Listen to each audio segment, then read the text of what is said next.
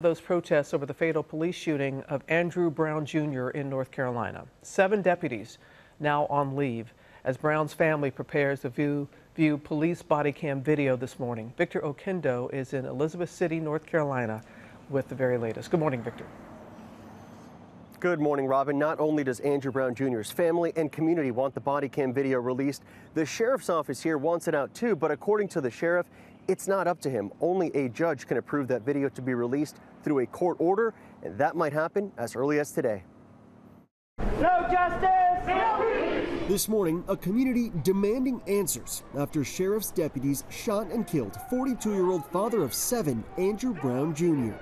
Special advisor Ian Nelson's got one male, 42 years of age, gunshot to the back. According to the Pasquotank County Sheriff's Department, the shooting occurred as deputies who were wearing body cameras were executing warrants related to felony drug charges in Elizabeth City, North Carolina last Wednesday morning. If any of my deputies broke any laws or violated any policies that come out through this investigation, they will be held accountable. Officials have released few details, but seven sheriff's deputies have been placed on paid administrative leave during the investigation. A neighbor who says she witnessed the shooting says Brown did not pose a threat to the deputies when they opened fire. He was nonviolent. I, anybody that knew him would tell you that. He was driving away. One of the attorneys representing Brown's family says they were told that investigators did not find any drugs or weapons at the scene. Brown's family is devastated by the loss. And now I got to live every day, my newborn, without even getting a chance to meet him at all. And that's going to hurt me every day. They will view the body cam footage later this morning and are calling for it to be released publicly for transparency and accountability.